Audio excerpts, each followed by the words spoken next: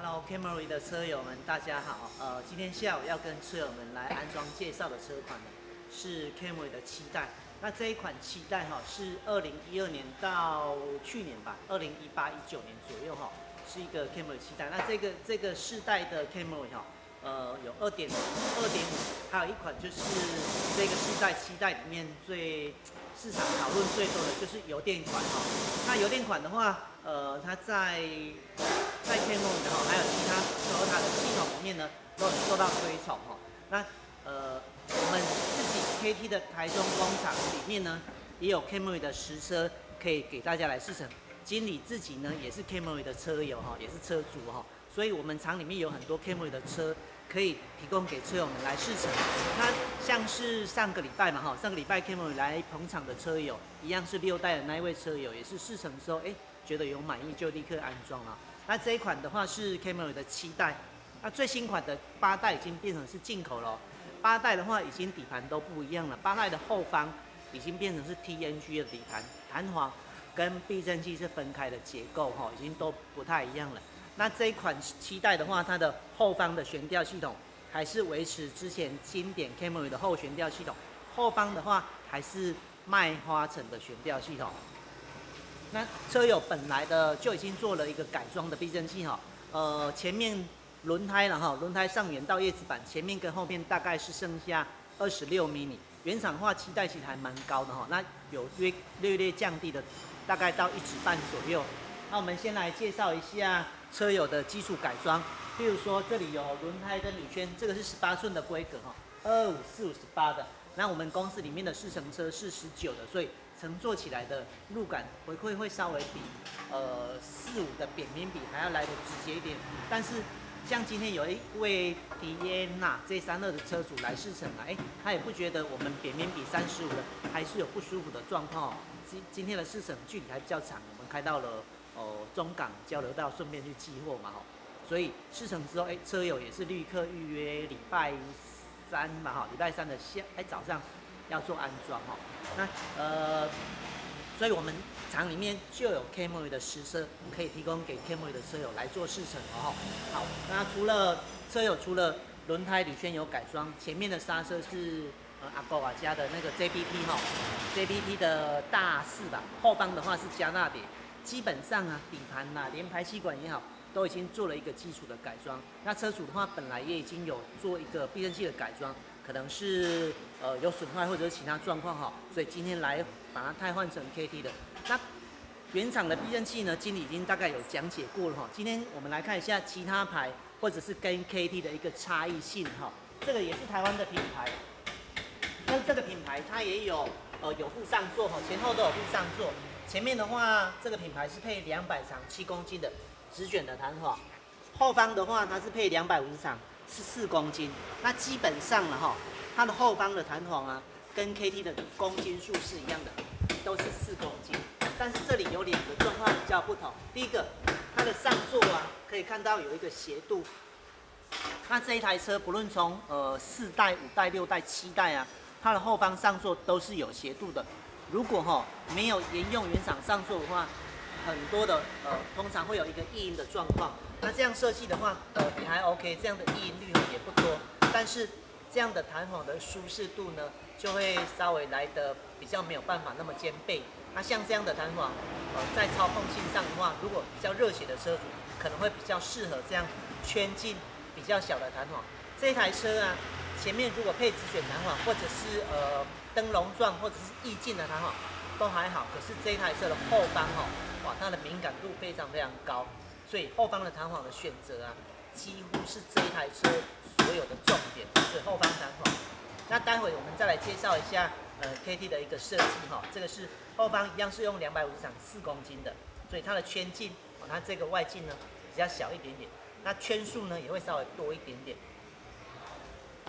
前方的话，这个也有副上座哈，KT 的话前面跟后面呢都有副上座。但 K D 的前面它的弹簧公斤数我们才配，因为这个毕竟二点零哦，它的车头后我们是配置七公斤的弹簧，是上小下大的弹簧哦。那待会的话拍到前面我们再来做一下介绍。好，那这一台车我们先来介绍后方好了哈。来，我们先再来看一眼这个弹簧哈，这个弹簧它的圈径比较小，这个不是直选的，它有一个呃一个小圈径哈，外径稍微比较小。好，那这个就是 KT 的一个设计哈，KT 的话，它的弹簧的圈径呢做的很大哈，其实跟原厂一样，哦，所以它的舒适度的话就会稍微来的好很多很多。那上方的话，它没有转成一个上座的形式，是直接。沿用原厂上座形式，可是 KT 有附全新的上座哈，而且这个防尘套啊，它是当车高撑起来也好，放下来也好，行驶间也好，它会把轴心全部罩住，对轴心做一个全面性的保护哈，所以这个防尘套是一个加长的规格。那后方的一个离载串呢哈，油管固定架这些的位置呢，都是跟原厂一样的哈。这些啊，车友也有改了金属油管哈，所以这个金属油管的固定的方式呢，跟原厂不太一样。原厂有办法锁一个螺丝就好了，但是呃改装金属油管之后，它变成是用对锁的。啊，这个是后方的，后方的话，它的车高调整啊，最高也可以跟原厂一样高，最低的话，轮胎跟叶子板哈，到切洗也都还可以。所以像这样的呃改装的避震器啊，它能够调高跟调低的范围，以这台车来说啊，相当相当的。哦，相当广域哈。好，那我们来看一下，呃，阻尼调整的方式。好了，在车里面哈，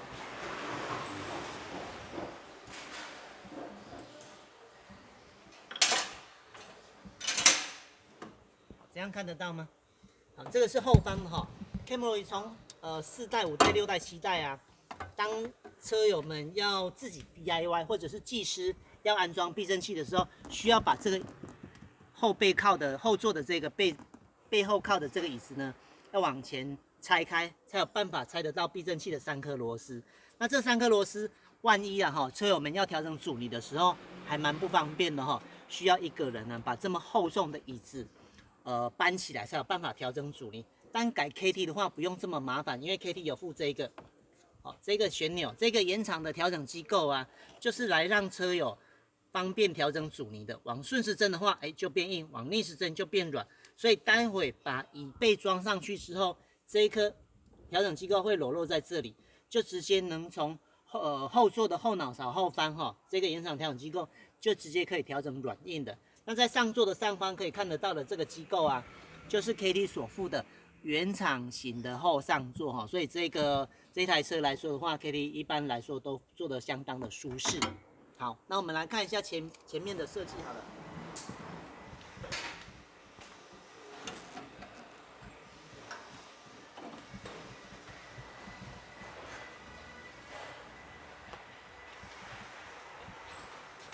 前面的话哈，前面的话呃，我们配的弹簧比较特别一点的哈。上座的形式的话，它是类似沿用原厂型的上座。那这台车呃。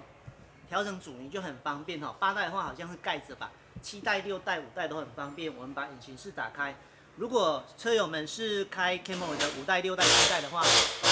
如果没有自己，今天是七代嘛，也许你的车是六代啊哈，那可以到 YouTube 上面搜寻 KT Racing，然后空白啊 Camry 六代就可以搜寻到自己相关相相关的一个车种呢，可以来看看哈。好，这个七代的话，引擎室打开。从这个地方就能看得到前面避震器的上部机构。那这个 KT 除了能调整高低之外，软硬的话也能随着车友想要的软硬度来做调整。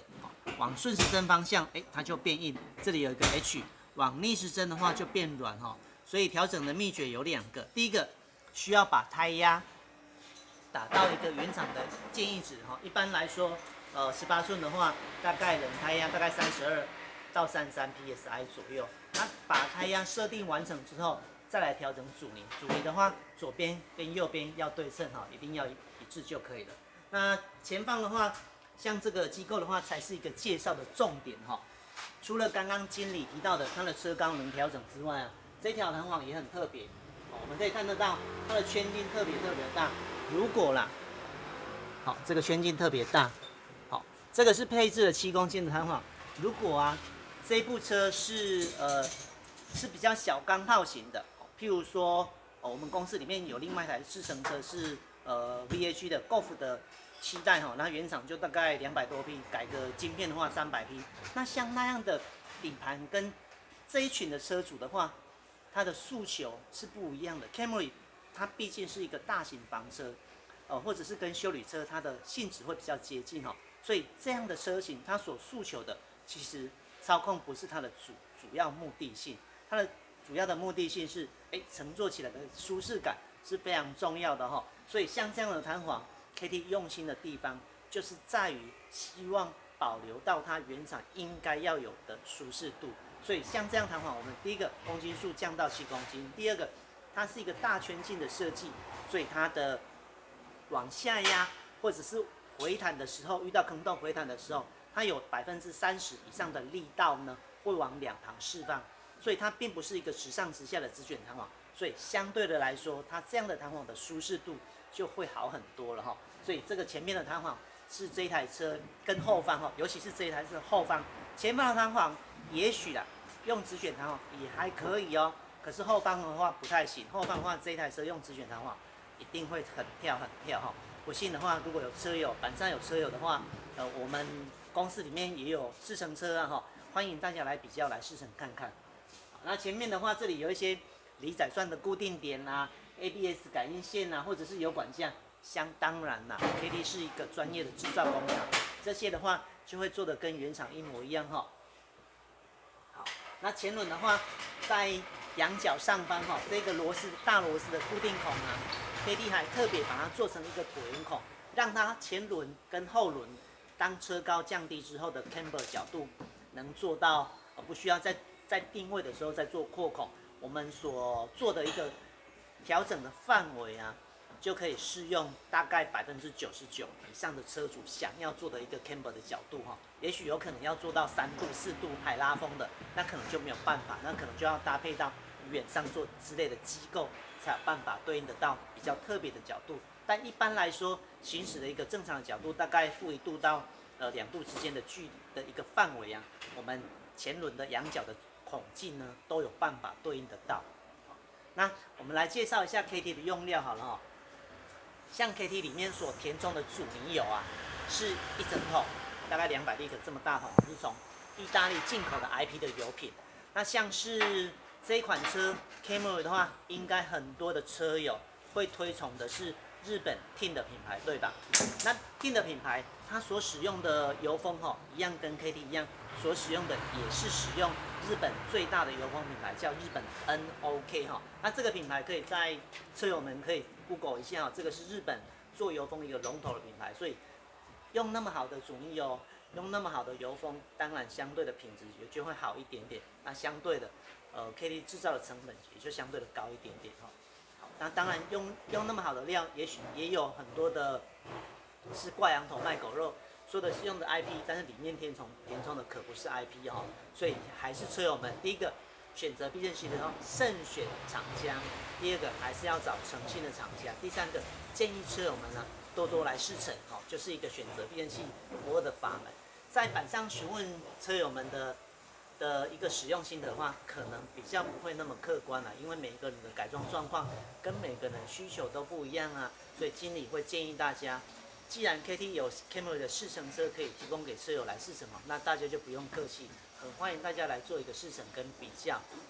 OK，以上是今天 Camry 期待安装 KT 道路版避震器的直播影片分享，谢谢大家，下回见，拜拜。